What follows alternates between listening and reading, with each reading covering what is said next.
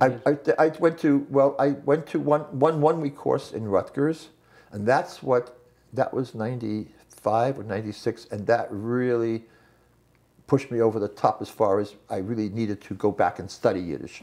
So then I went on a trip, a trip the next year to, uh, in 97, I took a trip to Eastern Europe because it was the celebration of, the, not commemoration of the 200th anniversary of the Vilna Gaon. I wanted to go because family's related. So I, and I learned that in Vilna they had a Yiddish program first year. And I went back the next year. It was, a, I think, seven weeks I spent in Vilna. I loved Vilna. I had wonderful teachers and I fell in love with learning proper Yiddish again, grammar and, and, reading literature and, and being exposed to different theories and meeting people from all over the world who were learning Yiddish too. And so the following year I went to Oxford, I heard it was a very good program. And the next year I went to Columbia, and uh, that was very good. I was eight weeks. I spent a whole, went a whole summer in New York City, and I enjoyed that tremendously. And then, uh, and after that, I've gone to various conferences, you know, I've met other Yiddishists. Uh, I translated a book uh, there's a Yiddish author who lived in Vilna in the, 19, in the 1890, 1860s, Ayzik-Meyer Dik. Um, and uh, I discovered this book had not been translated into English, so I and a friend, she teaches Renaissance literature at Barry, University, and she came from a Yiddish-speaking home, and I taught her how to read, and all of a sudden she realized this is my language. I know it anyway. She knew the vocabulary, just couldn't read it. So we started to read, and we, we came across this book by Dick. It's a small, not, it's a novella, and we did it bilingual. One side was Yiddish and one side was English. Uh, and um, uh, it was difficult. It was difficult because there were things you, to, you don't have footnotes in a novel, but we had footnotes because, for instance, uh, uh they're talking about uh, she she looked like she looked like she had just after Neila.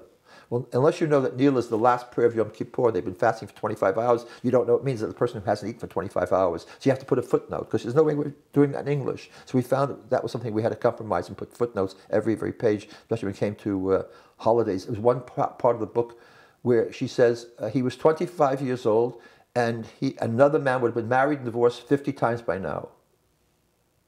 Well, just so happens that in Europe, when a man was a, a, a traveler, and he had to, that on Mondays he would divorce his wife and marry her on Friday because if he was killed or disappeared and there weren't two witnesses, she's an aguna, an anchored woman. She can never marry anybody else. And so he would give her a quick divorce and marry again on Friday. And, you know, so you had to have a footnote. And the book was full of footnotes, but, but the, the, the tr traditions in it were just amazing, amazing. Uh, and he talks about this ugly custom of women wearing white sheets the women would dress up and cover themselves and then cover their whole bodies with a white sheet like a burqa. And I've seen pictures now of women in Eastern Europe and during the 19th century dressed that way. That they were just like the burqa. They would take, they dress up and bundle up and to, to, to, to shape, get rid of their shape, and then on top of that put a white sheet and walk around the streets. Well, lots of customs, amazing customs. There's one part where the, she's, she has one daughter, a woman in the book has one daughter who's not getting married, so she calls in uh, a soothsayer, and the woman takes hot lead and melts it and pours it into water, and then takes the shapes that form and tells the future through shapes. And then I heard later on in other books that they did it with wax also. You don't talk, am I describing it correctly? I never heard of that custom.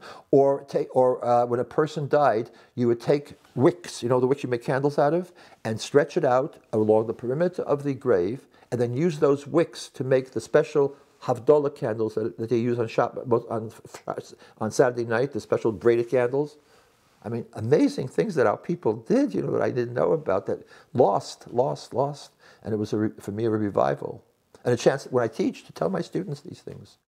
The richness of the language, the beauty of the language, the integration of the language and the religion and the customs, and the, everything was all mixed together. It was wonderful. It was a great, you know, and uh, the, the, the, fact that he writes in a colloquial Yiddish, he writes the way people speak, because prior to him, really, books were written in Yiddish in a kind of stilted Germanic Yiddish that nobody spoke, but the rabbis decreed this was the proper Yiddish for women. Like if you read the Tsene-rene, it's not written in a language that no, nobody spoke.